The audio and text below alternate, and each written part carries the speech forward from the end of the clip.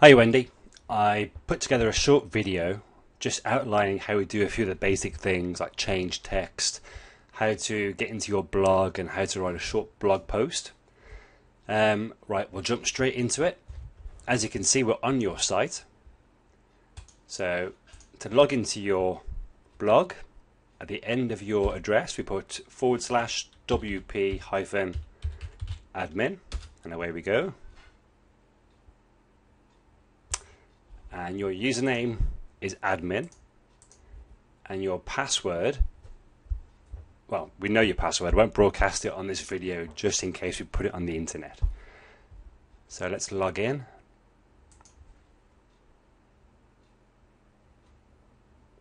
And here we are on your dashboard.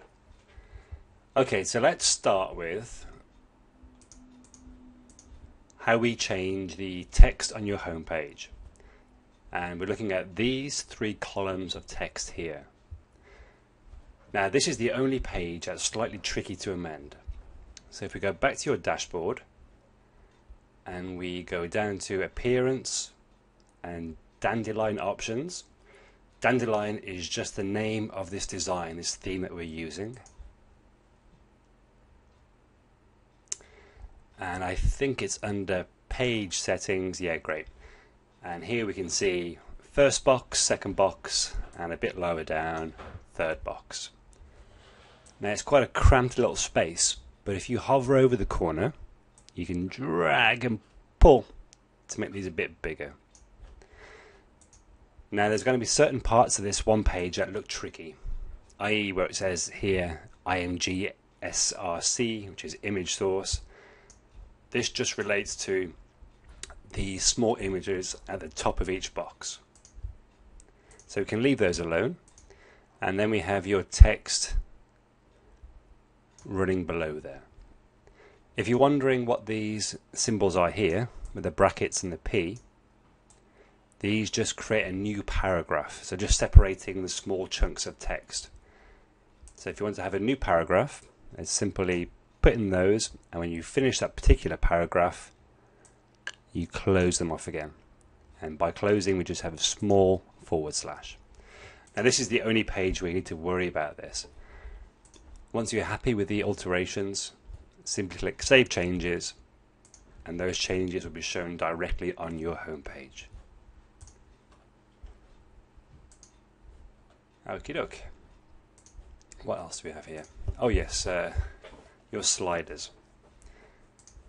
Now, I know last week we've gone through these, we've chosen the right photos, and we've added the right headings. But if you decide to edit those in any way, you simply go back to Appearance, Dandelion Options, and the third tab down is your slider settings. Here we have the four sliders that we're using. If you wish to alter them, simply click on the green pencil and you'll see down here the text that will show below. So simply edit that text, hit the green tick to save it, and then click Save Changes. Okay, so that's pretty much the home page covered. Let's have a look at the blog.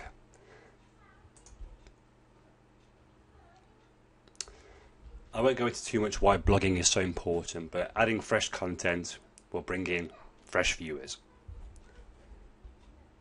So let's go back into your dashboard and adding a new article to a blog is actually called a post. So up here in the dashboard we can see posts. Let's go to add new and we can see here our blank post window. I'm going to give this one a quick title of Terry Test. And below I'm going to pop in some gobbledygook.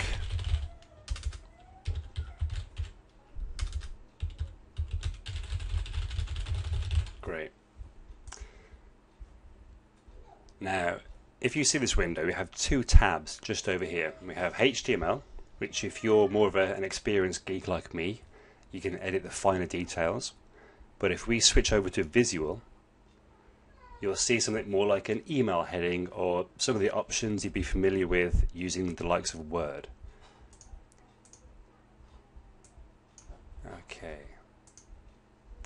This small check here, which is your first line of icons, and the very end, if you click on there, you're actually given all the options in one go. So let's check that. And we're going to create a heading within our blog post. So I'm going to highlight this word heading here, and I want this to be a bit bigger than the paragraph text.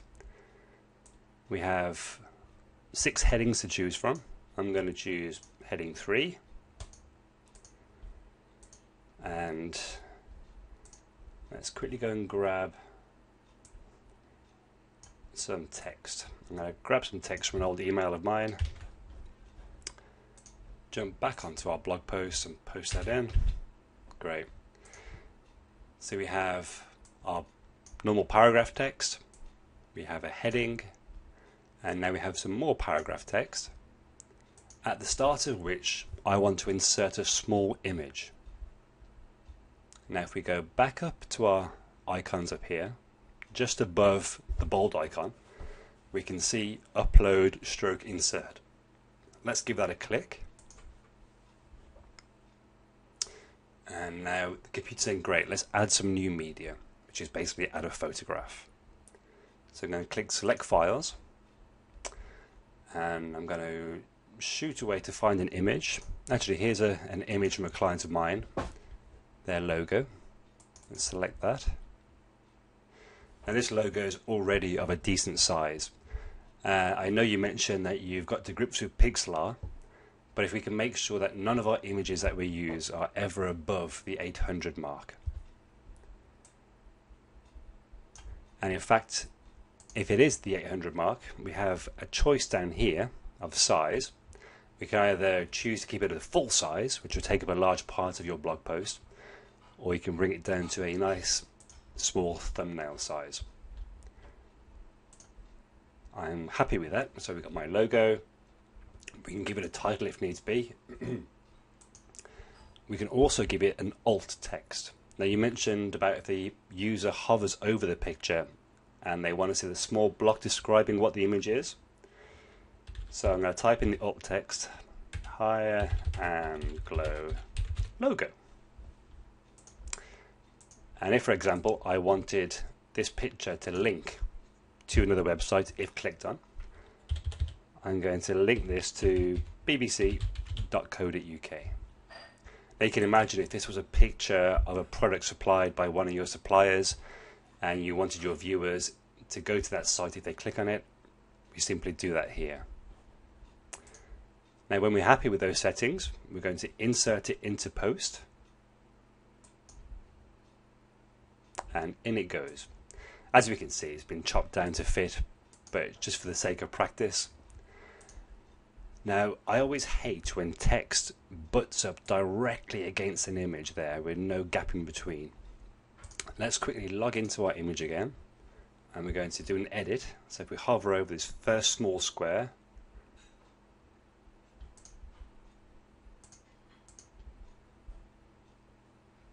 it'll give us a few options again. Now we're going to have our image aligned to the left. So any text will wrap around the image on the right hand side and underneath.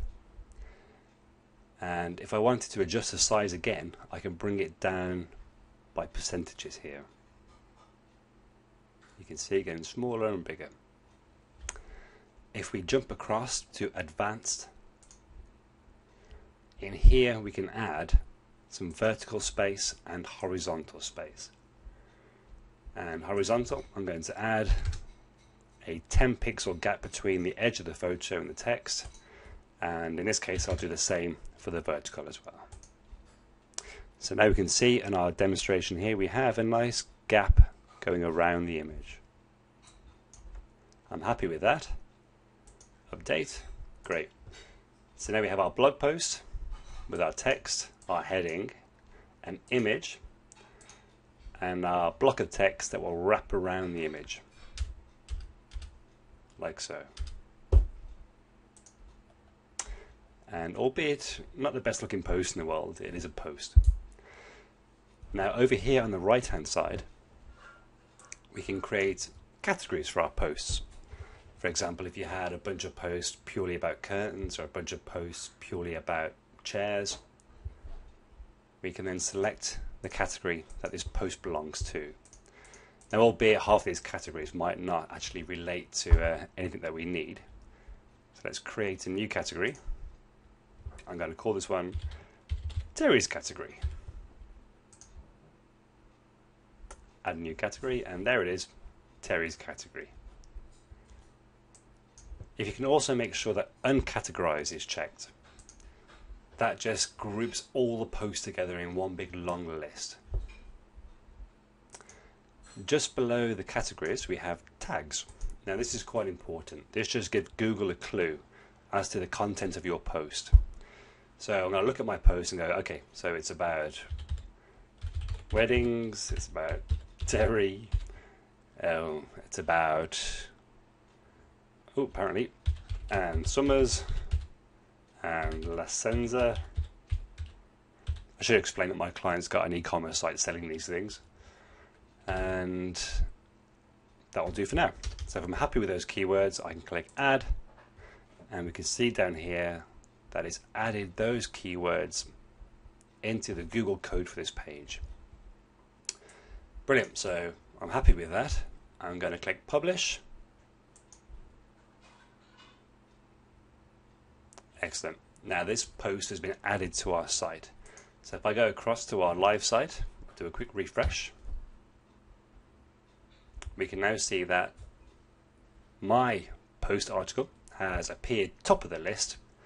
Terry test, got a date, we've got a paragraph text, we have a nice heading, we have our image with a slight margin around the edge, and our text flowing around the right hand side of the image. And that basically is how we write a simple blog post. Uh, is there anything else I can think of right now? Um, I think regards your information pages, your services, you've already made um, edits to some of the text. When you come over today, we'll quickly look at how to add um, some new gallery photos, and I'll talk you through that. But otherwise, we've just reached the 13 minute mark, and I think we've covered the the major issues that you'll need to be tackling over the next week or two. Okay, then, Wendy, I hope I haven't bored you too much. I'll leave it there. Thank you.